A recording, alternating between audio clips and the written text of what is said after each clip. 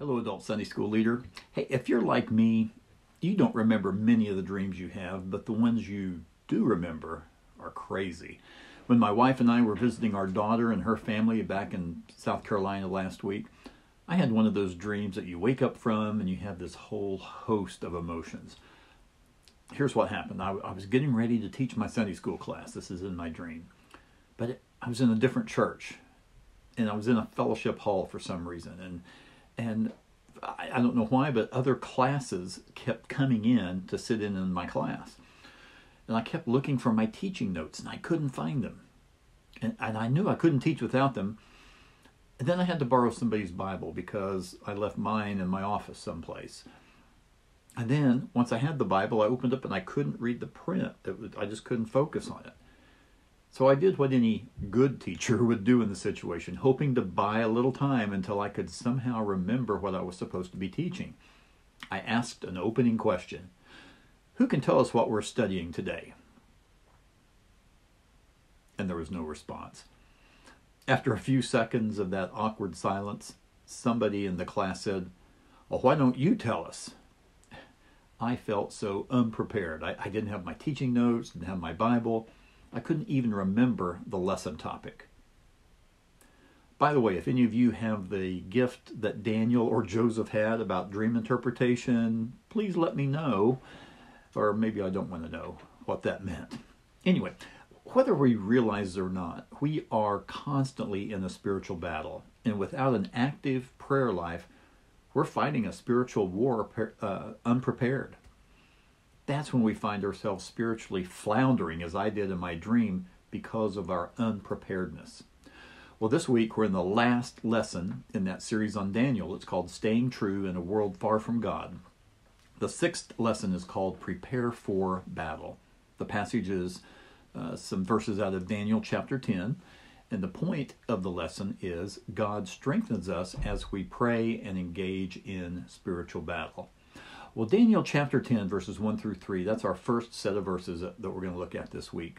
Now, in last week's lesson, in Daniel 9, it was the first year of King Darius's reign. And that was the historical setting for that lesson. Well, this week, it's the third year in the reign of Cyrus. Now, we sure have gone through a lot of kings and rulers in these last uh, six weeks of study and, I easily, I'll just admit, I easily get confused with the rulers of different kingdoms and who they are and the timeline of all that. So hopefully this brief overview will help us both. So in 539 BC, that's when Belshazzar, uh, that was the Babylonian king, held that feast where the handwriting on the wall appeared. We had that a few lessons back. And uh, as we read in Daniel chapter 5, verses 30 through 31, it says, That very night Belshazzar, king of the Babylonians, was slain, and Darius the Mede took over the kingdom at the age of 62. Okay? Now, 11 years before the fall of Babylon, this had been in 550 BC, the Medes had fallen to the Persians. Now, at the time of Daniel chapter 5, back in 539 BC, it was actually the, the, the Persian Empire under Cyrus that conquered Babylon. So Darius the Mede was appointed as a vassal king by Cyrus for just a couple of years before Cyrus directly took over as ruler. Now, back in Daniel 6 28, right after the, the lion's den story, it says this So Daniel prospered during the reign of Darius and the reign of Cyrus the Persian. This shows us that Darius and Cyrus reigned concurrently. Now, an interesting side note here is that Darius was the nephew of Cyrus. Well, uh, so 539 BC is the beginning of the reign of Darius. It also marks the beginning of the reign of Cyrus over the former Babylonian Empire. So if this is the third year of the reign of Cyrus, then this Daniel chapter 10 occurs about the year 536 BC. Well, in 538 BC, a couple of years before, Cyrus issued a decree that allowed the Israelites to return to Judah. We can read about that all in the book of, of the book of Ezra. Well, at this point in time, Daniel is in his 80s, maybe even his 90s. Now, back to the biblical text. The, the first verse is written in the third person. He also identifies himself as Belteshazzar. That's the Babylonian name given to him decades before. These two things indicate that Daniel he, he was writing this as, as an official document. However, from verse 2 through the end of the book, Daniel writes in the first person. Well, during the third year of King Cyrus's reign, so this was around 536 BC, Daniel had a revelation. He had a vision. And this wasn't a pleasant vision either. In, in fact, Daniel wrote that he mourned for three weeks following this, following this revelation. That's a long time to mourn. He didn't fast as we've seen him do in previous lessons, but he did restrict his diet. He consumed no choice foods, no meat, consumed no wine. He seems that he just ate enough to, to keep himself alive. And you probably know how this is if you've been stressed or you experience grief or some for some reason the appetite seems to wane, seems to, to kind of go away. I know when my wife was in the hospital for 17 days almost four years ago, I lost 12 pounds during that uh, 17 days. For one thing, I had to cook for myself, and you know that's not all that appetizing. But also, I really just wasn't that hungry. Well, then verse three tells us that Daniel uh, he didn't apply any lotions during those three weeks. What's that about? Well, putting oil and lotions on one's skin, of course, helped nourish the skin in that very hot and dry climate of that area. It was also a sign of mourning not to use lotions. We see that um, after the death of David and Bathsheba's son in 2 Samuel chapter 12 verse 20 when Daniel was uh, through with mourning it says he got up changed his clothes and applied lotions. So in verses 4 through 9 Daniel had a vision on the banks of the Tigris river. It was it was of a man or at least a being that had the appearance of a man he had this booming voice, uh, a face like lightning, eyes like torches, and, and the feet of bronze. This was definitely some kind of heavenly being. We know there are only two angels mentioned in the, by name in the Bible Gabriel and Michael. Now, Michael's mentioned later in the chapter in verses 13 and 21. So I, this is not him. Now, some think this may be the angel Gabriel, since he's mentioned back in 8:16 and 9:21. Now, Gabriel is also known; he's you know, he's known for making another announcement to someone who is treasured by God. And that would, of course, be Mary out of Luke 2. But if Daniel previously had had an encounter with Gabriel, surely he would have recognized the angel and properly identified him here. So for now, we're just going to identify him as an angel. Now, someone in class may mention that in Revelation 2:18, the description of Jesus includes terms like feet of bronze and eyes like blazing fire. Could this be the pre incarnate Jesus? I don't believe it is, and I'll give a couple of reasons for that here in a bit. Well, our next set of verses is 10 through 13 of chapter 10. Daniel was literally touched by an angel, and this made him tremble uh, on his hands and knees. And the angel reassured Daniel that he was highly esteemed, he was treasured, and to stand up. Now, here's the first reason I don't believe this is a, the pre incarnate Jesus. Daniel's posture was one not only of fear, but of worship. In Revelation 22, verses 8 and 9, we see that angels do not accept worship, they allow God to be worshiped only. So Daniel stood, uh, but he was still trembling. And, you know, I really can't blame him. I would be too. The angel told Daniel those four words in English that occur so much throughout the Bible do not be afraid. And of course, it's more succinctly stated in the King James Version fear not. Now remember, it was three weeks before this encounter with the angel that Daniel had a, uh, had that revelation. But the understanding of the revelation didn't come until 21 days later. During that time, Daniel mourned, and even though the text doesn't specifically state this, just based on what we've already learned about him, I believe Daniel spent that time in earnest prayer for an answer as to what that revelation meant. Now, if we stop the lesson right here, there'd be so much that we could take away from the text. So let's just mention a couple of those takeaways.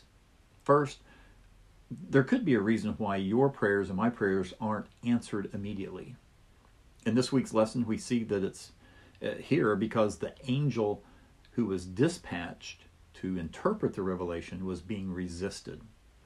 The angel told Daniel that he had been in, that he had been delayed for 21 days. Remember, that's the same amount of time that Daniel had been waiting for an answer. He was in mourning. And why was the angel delayed?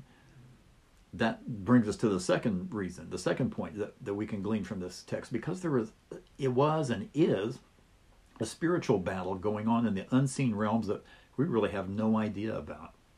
We, we learn a little bit about this spiritual warfare as the angel continues talking to Daniel. The angel was resisted by the prince of Persia.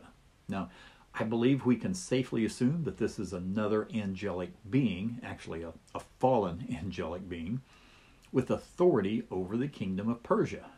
You may be thinking, no, no wait a minute, that's that sounds a little far fetched. What are you talking about? Well, and true, it, it probably does sound a little far fetched, but there's a lot about the spiritual world that we don't know and we don't understand. Do angels have authority or watch over nations? What's that about? Well, here's what Paul says in Ephesians 6:12.